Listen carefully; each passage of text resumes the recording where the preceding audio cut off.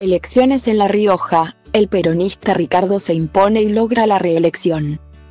Con el escrutinio avanzado muy lentamente, el gobernador de La Rioja, Ricardo Quintela, Partido Justicialista, se impone parcialmente esta noche en las elecciones provinciales y lograría la reelección.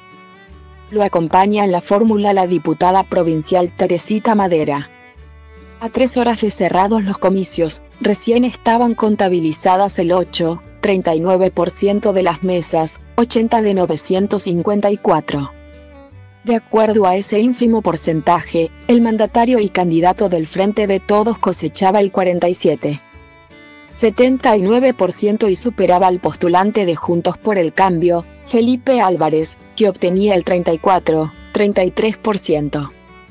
En tanto, La Libertad Avanza, cuyo candidato era Martín Menem, sobrino del fallecido expresidente Carlos Saúl Menem, quedaba en tercer lugar, con 16,07%. Leer más. Ocho provincias eligen gobernador en mayo y los candidatos nacionales miran de cerca los resultados. Más del 70% de los ciudadanos empadronados concurrió a votar este domingo, según estimaciones de la Policía Provincial encargada del operativo de seguridad del comicio, y datos aportados por los propios partidos políticos.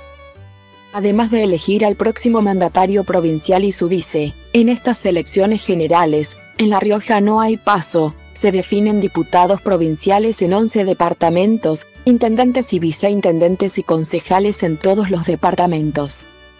Este domingo los riojanos también votaron a 36 convencionales constituyentes para llevar adelante la reforma de su constitución provincial, en esa categoría. El Frente de Todos lograba el 58, 60%, mientras que Juntos por el Cambio cosechaba el 37, 49%.